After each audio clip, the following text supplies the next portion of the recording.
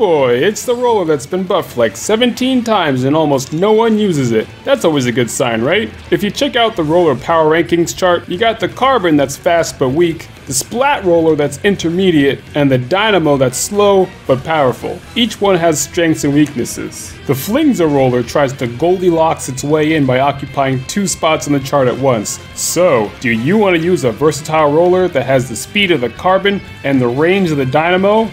Well, too bad. Keep looking, because the Flingza roller is supposed to be that, but is not that. You see, every roller has two swings in Splatoon 2. The Uno, which is the horizontal swing from the first game, and the Dos, the new vertical swing introduced in Splatoon 2. The Flingza's Uno is slightly faster and slightly shorter range than the Splat Roller's Uno flick. But the Flingza's hitbox and ink spread is also more inconsistent than that of the Splat Roller, which was already pretty inconsistent. However, the Dos swing for the Flingza is really bad! It's slightly faster than the Dynamo's fling, but with way less power. The Dynamo may be slow as shit, but at least it has the power to back it up. The Fling's Dos swing is so hard to aim and so easy to dodge, and even if you do get a hit with it, the Dos is often a 2 or 3 hit kill.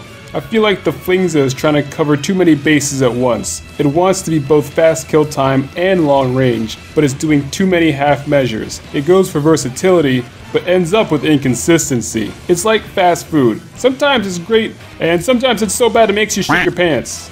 Never half ass two things, whole ass one thing. If you want to overcompensate, go with the Dynamo. If you want to play a decent roller, play the Splat Roller. If you want to press every button on the controller at once, use the Carbon. If you want to be frustrated when your roller messes up easy kills, then take the Flingza for a spin.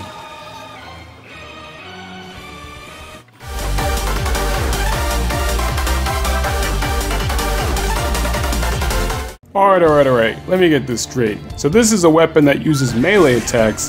It has multiple options designed for versatility. It has supportive options to help out your teammates. It's very good in specific situations. It can get one-hit KOs. It sometimes lets you down, and it's red in color. Hang on a sec. This weapon is the Monado.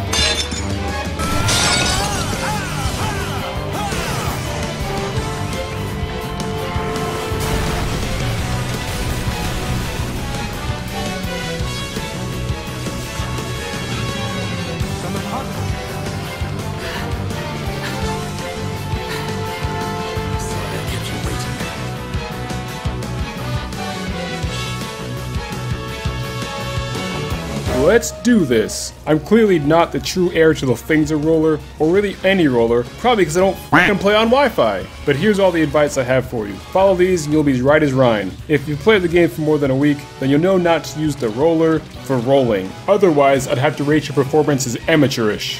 The only time you should roll would be if you miss a flick and the opponent is right next to you, or for super jump camping, but make sure you're still moving through their circle when they land, and you can change their future. Even if you're not rolling, rollers are all about movement. Know exactly where your one hit KO range is, and don't swing until they're within range. Using some main power up can help extend your one hit KO range too. If you memorize what this range looks like, then you only need one shot. Think of your enemy, and the power to defeat them is yours. Things will really be heating up. Let them know you're gonna go all out.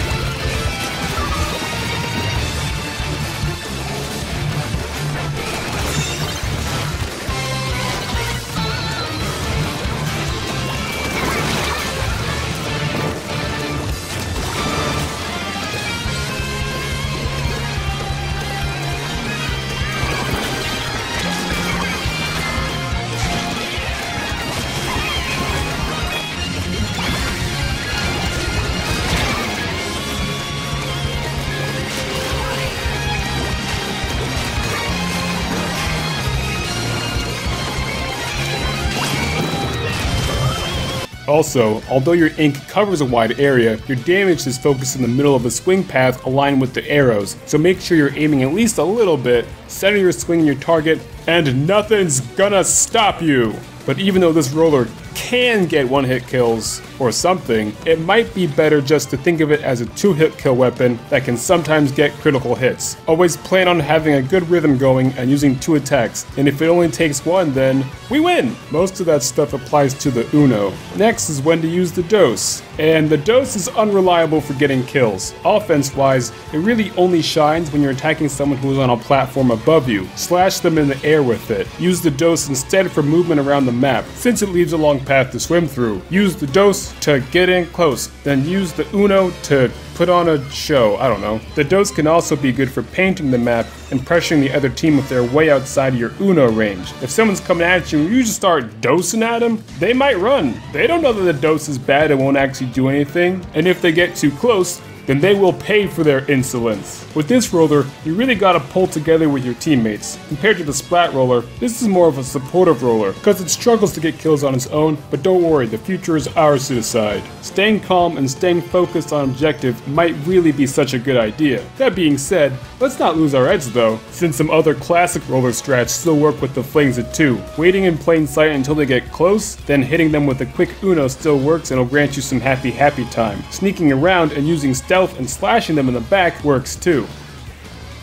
The two Flingza variants are well, if I were making these, I wouldn't go with them, but it looks like we don't have a choice. The Flingza roller is designed for mobility, which is why they gave it the stationary subweapon of Splash Wall? Well, Splash Walls can be used in particular key spots on the map when you have to protect everyone and save us from harm. They can also be used to interrupt people, as long as you throw them out in advance. Bomb Launcher is good at painting and applying lots of pressure on the other team. This roller does best in splat zones, since you can use Bomb Rush to retake the zone real quick if you're about to lose. The future doesn't belong to them, and you can throw down a wall first and then use Bomb Rush for further protection. Since your only reliable long range option is Bomb Launcher every 20 seconds, this set is more of a supportive set. If the original Flingza is the Monado 1 Flingza, then the foil Flingza is the upgraded Monado 2 Flingza, as it's a more aggressive set and it will be time for the other team to witness your power. The combo of suction bombs and Tenta Missiles are good long range options that are good at controlling space, which is what every single game mode in Splatoon is all about at its core, controlling space. I can really feel the power of this set. You throw a suction bomb one way, then launch Tenta Missiles, then throw another suction bomb,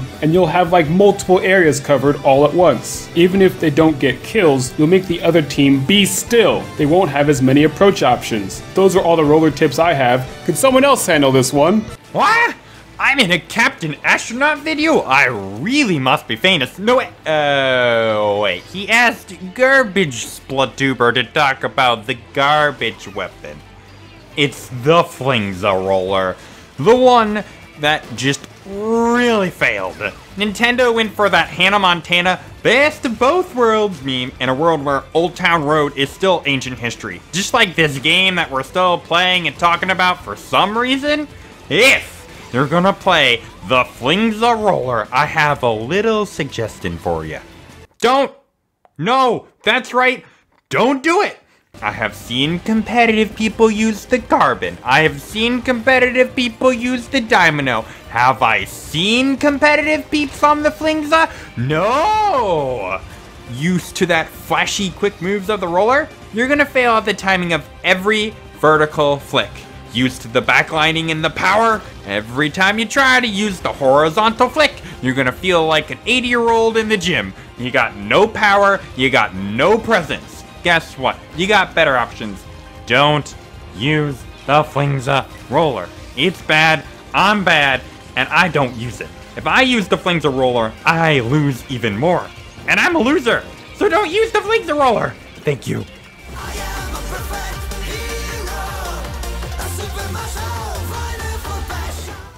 For both Flingzas, main power up is not an option, it's a requirement. You need that power. If you want to have a chance at victory, then you need to use at least one main of it. Flingza can also be pretty ink hungry, so some ink saver main can be useful. Given that it's a roller, swimming movement abilities such as swim speed, ink resistance, and ninja squid can be good on it. With enough speed, you're more likely to be within kill range, and you will make the other team know pain and suffering. Remember that ninja squid slows you down, so you need to use at least 5 subs of swim speed to counteract the slowdown effects of Ninja Squid. Special Charge is good to rush them with Mo bombs and rush them with Mo missiles. Using the flames will put you in a world of strife where you'll be against the odds and you'll be dying a bunch, so either come back or last ditch effort can help you choose to fight, and they'll buff you up so much you'll be ready to kill a god. Either one pairs well with quick respawn, so you don't leave your party hanging for too long after you die and come back to life. And that's it. Thank you for watching, and thank you to everyone on Twitter for your suggestions. I recommend reading through the thread for more suggestions and details, and maybe even click the follow button while you're there. That's always an option. and also, thank you to a Squidman for your flings of tips that I definitely listened to beforehand. Everyone go subscribe to him. I'm on his streams a bunch. He streams every week. Who has time for that? Apparently, he does. And also, subscribe to me too for future videos if you haven't already. It really does help a lot.